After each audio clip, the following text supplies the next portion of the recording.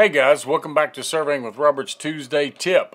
So, today I thought we would talk about Trimble Connect Sync and synchronizing data between the office and the field.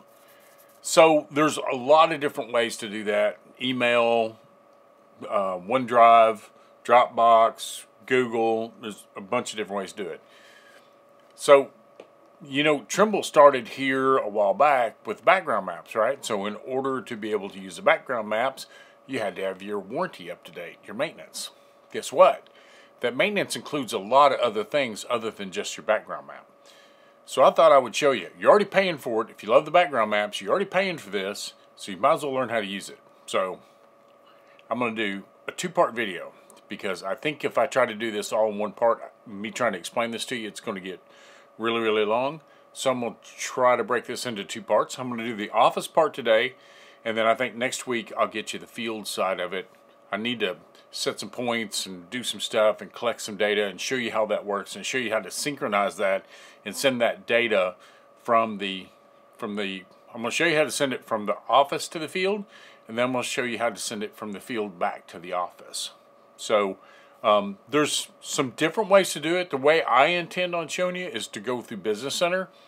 Along the way, I'll show you some ways you can do it without Business Center, but we're going to look at doing it with Business Center. So I've been doing cellular connections and data transfer for a long time with this equipment. So I, I, went through this over the weekend, and I, I thought I would just bring it to you guys and show you. So I'll quit running my mouth, and I'll show you how it works. Okay. First thing you need to do get on the computer and you need to Google um, Trimble Connect apps, I believe is what I Googled. Yes, Trimble Connect apps. So you're going to find Trimble Connect App Store. So you're going to click on that. Now you're going to notice up here under accessing the App Store, it says Trimble Connect App Store right there. Now then, you there's and you're going to have to use your Trimble login apparently to get into this. So, let me get into my login here. You should have a Trimble login. In order for all this stuff to work, your access has to be up to date. If your access is up to date, you have a Trimble login. It should have been um, basically given to you whenever you got your data collector or whoever the administrator is has this information. Okay, you may have to do a little bit of digging to find out who your administrator is. And it's going to be the email address when they purchase the data collector. It's going to be the email address that was used. The like in our case, the office would have put that email address in as the administrator for your Connect site. Okay, so what you're going to need is you're going to need Trimble Connect for Windows. You need it, but you don't need it. I would download it. But the other thing you need is Trimble Sync Manager. Download Trimble Sync Manager. Definitely download uh, Trimble Connect for Windows. We may look at that, but really what you need is the Sync Manager. Okay? So once you have those, and you've got them downloaded on your computer, I am going to go here to, um, let me see, apparently I don't have Sync Manager open. Whoops, I just saw it. Let me go back. Trimble Sync Manager right there, recently added. Okay. So these are all the apps that are in, I say apps, these are all the projects that are in my Trimble Connect site. So a lot of these have just been me in here just kind of screwing around and, you know, just playing with this Trimble Connect thing. But let me show you how, kind of how I feel like the workflow should go, okay? Now I may stumble a little bit with this because I don't do it every day, but you'll get the idea. Project. How about we call it Robert's Project. Okay, so a project can be, and I think I've explained this to you guys before, but I'll, I'll tell you again. A project could be Wiggins, Mississippi, right? So I do a survey for the school. I do a survey for downtown. I do a survey for a Walmart. I do a survey for an Arby's, but they're all in Wiggins. So all my control and everything else, I'm using the same control for all these projects. So let's do this again.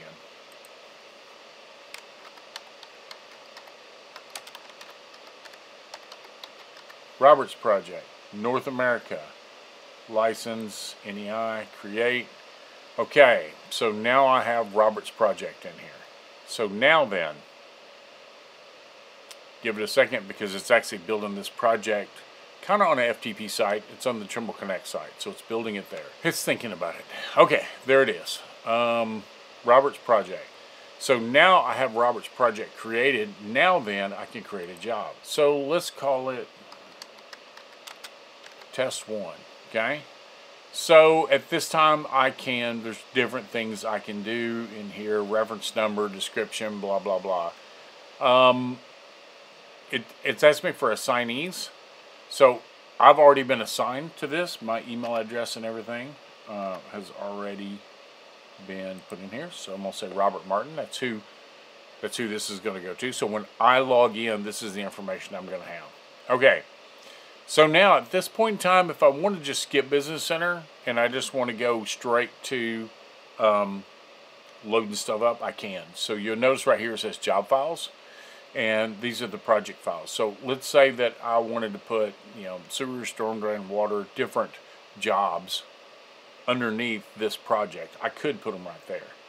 So it, I can add a feature library if I want to, units, US, Mississippi East, that was the project I did before, so that popped right back up. You can go in and how you would set your project in here. Um, as you can see, I can look at it. I could say define. If I go to define, I zoom down on the area I'm looking for, which is not in Iowa, not in Missouri, Arkansas. Let's go here to Mississippi. Let's go down here South Hattiesburg. There's Purvis, Lumberton, Wiggins. There's Wiggins, Mississippi right there. So now it's going to give me all my choices. So I can say um, NAD 83, Mississippi East, boom, uh, Geoid 18, save. So it's telling me right there I need a project height. So your height is your ellipsoid height. So you're going to take basically, the easiest thing to remember is take about 90 foot off your elevation. That's your general project height. At least it is down here. Now you may want to check this um, in you work, but where I'm at, it's roughly about 90 foot. So if I said, um, let's see, what is it? About 120 would be about my project height. Let's get rid of that little question mark there. Okay, so everything else should be set up. I'm going to say create. That's really the only thing I needed to make sure of. If there was other job points, CSV files, that would go right here. I guess I should have showed you that. You can open this up and you can add CSV files in this bottom thing right here. If you had CSV points you want to load into that job. But that's not the way we're going to do it like I said, it's putting all this up on the Connect site, so give it a minute. Syncing. Okay, so there we go. My job is test one. There it is. You know, if I wanted to go over here and look, uh, so I can say this is a template. I can do whatever I want to with it. Change status, blah, blah, blah. So we've, we've got this in here. Okay, so let me minimize that. So I had this TBC project going on. Now, first of all, let me show you this. Let me go into Trimble Access. Okay, so if you look up here at the top, I need to sign in. So I'm going to say sign in. Okay, I'm signed in. Remember all those projects that we saw a minute ago on the sync thing? Okay, so they're all in here now. So if I say sync that, just to make sure, so that's the little sync button up there and up there next to it is a little cloud thing. So I can say how I want to do my cloud settings. So I've got it time interval of one minute on my syncing. You may not want it to be one minute. You may want it five minutes whatever. I'm gonna say accept. Okay so look the second one down there in the field where it says Robert's project. It's grayed out and you're like yeah but Robert it's grayed out. I can't use it. Tap on it. It's going to download it so right now it's basically telling me the GeoID file in there. So I'm say I'm just going to keep the local file. Download the project. So now that project, you'll see it says test one. That was the name of our job, test one, under Robert's project. Let's download that. There's test one. There we are. So now if I go in and look, job, projects, Robert's projects, job, test one, there's test one. I go and look at the properties, Mississippi East, which is what I set, U.S. survey feet, which is what I set. All that stuff is in it, right? Operator, Robert Martin. Accept. Okay, so now I got my job set up, but now I need points in there. So let's say you're going to send a crew out to go survey something. So let's say that you want to send them information. The scenario I'm going to set up for you is I'm going to go out there and I'm going to drop four pins where you see this square at on the screen. But I'm going to set this and then I'm going to move it. I'm, I'm going to kind of bake the cake for you. You know what I mean? Like cooking show. You know how it's like, here's how you mix the ingredients. And then voila, open up the oven, there's a cake. I'm going to kind of do that for you. So what I'm going to do is I'm going to go set these pins out in the field. But I'm going to take this drawing and I'm going to move it a little bit. So the reason I'm going to do this, if I was to send you out to go survey this piece of property, I don't know where those pins are at. I, I can I can guess. Because you know usually you can look at possession lines right on a map and you can kind of guess as to what um, where that goes. So I can guess at it. So I'm going to give you basically a look point right? So you have each one of these corners for a look point. So I've got the base point down here at the bottom. Point number one is the base point.